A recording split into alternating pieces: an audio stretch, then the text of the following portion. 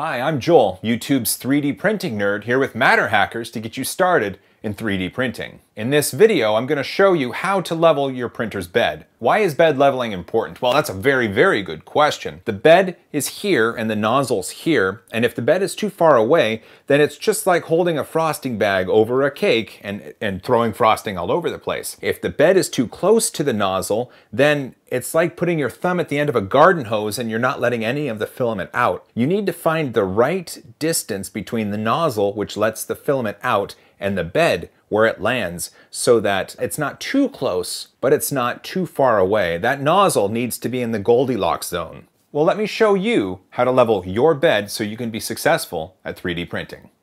Within MatterControl, click on Settings and Controls, and then Options. Under the Calibration section, you should see a button that says Configure. Go ahead and click that.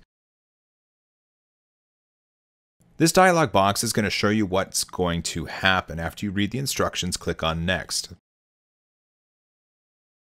At this point, the head will move and position itself into the right spot over the print bed. Be sure you have a piece of paper handy because you're going to need it for the next few steps. Using the piece of paper as a guide for the space under the nozzle, slide it back and forth using the Z minus key until the print head touches the piece of paper. And once that happens, click on the Z plus key to back it off once and then click Next.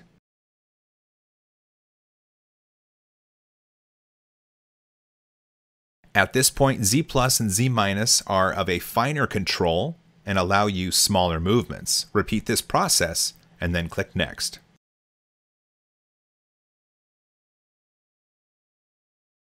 The third and final time is even finer controls with smaller movements. Follow the steps on the screen using your piece of paper to judge the distance, and when done, click Next. At this point, the bed moves down and the print head moves to the next location that you're going to do this. Using the piece of paper, follow the instructions on the screen and use the steps you've done before to get the distance between the nozzle and the print bed right for this spot. You've done this before, this is no problem, you've got this.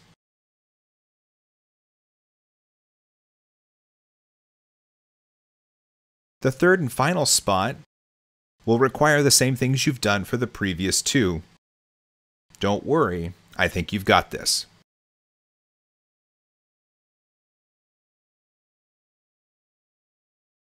Once this process is done, you're going to have a software leveled print bed, which should ensure a great first layer and great prints.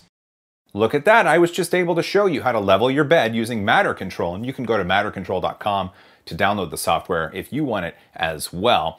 Just a reminder, don't let your nozzle be too far away, don't let it be too close. You want it in the Goldilocks zone. Well, thanks again for watching. We really appreciate it. Until next time, we'll see you later.